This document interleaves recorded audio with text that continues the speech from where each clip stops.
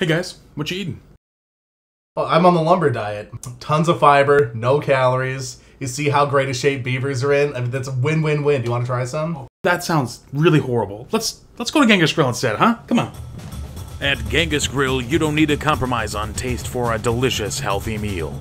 With over 80 fresh ingredients to choose from, there's no limit to the boundaries of your dining empire. Genghis Grill. Seize control. Build your own bowl.